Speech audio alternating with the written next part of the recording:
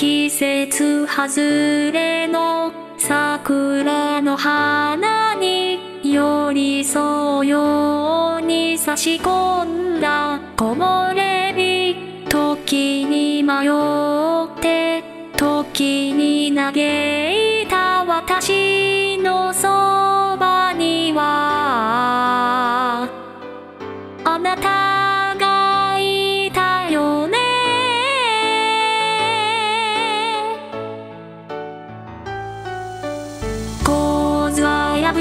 あなたを守るよ。次はやるゆ変わっていないの。聞きたいこと。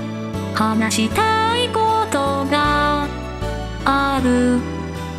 たくさんある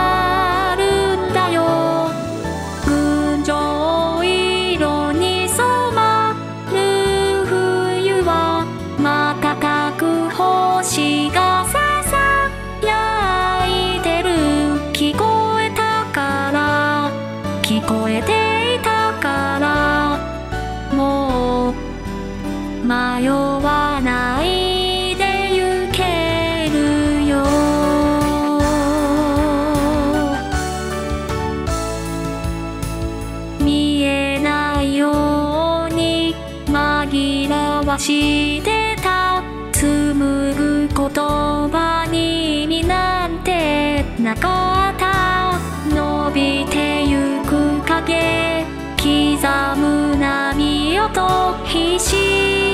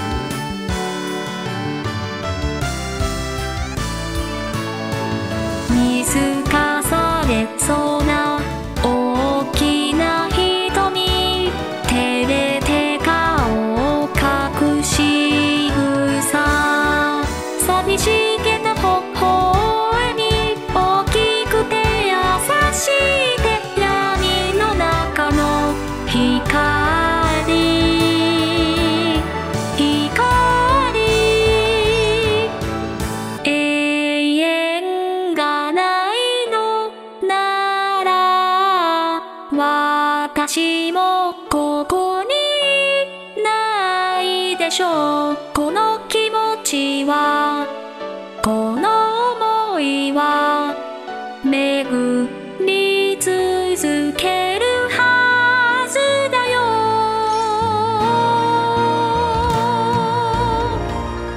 Surrounding you あなたを守るよ Always be